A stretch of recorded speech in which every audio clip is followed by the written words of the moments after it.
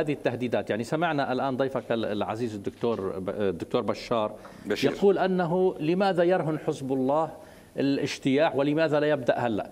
أولا أنا بتقديري أن هذا الكلام أو غيره من الكلام الذي يحكى في هذا الإطار هو فخر لحزب الله. لماذا؟ لأن كل الأمة العربية وكل الأمة الإسلامية تعتمد على حزب الله في مواجهة الكيان الصهيوني. هذا الأمر الأول. الأمر الثاني أنه عندما تريد أن تواجه إسرائيل أنت يجب أن تعد العدة. يعني أنت إذا أنت تريد أن تواجه إسرائيل يعني ليس من المنطق أن تقول لشخص اذهب وق... لماذا لا تقاتل إسرائيل؟ اذهب وقاتل إسرائيل طالما أنت تقاتل تقول تريد أن تقاتل إسرائيل وتزيلها من الوجود وما إلى ذلك.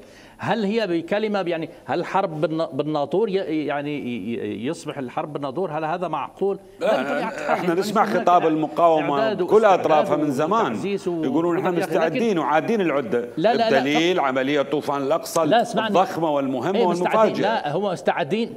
لحظة لحظة. مستعدين.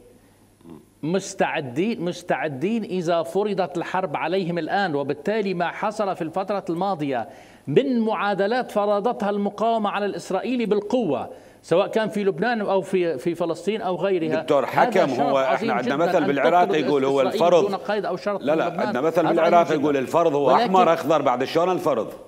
لا لا يعني شوف. شنو فرضت بالقوة يعني؟ فرضت الحرب يعني. لا شوف شوف شو ما تفرض. حد حدث العقل حدث العاقل بما يعقل. أه.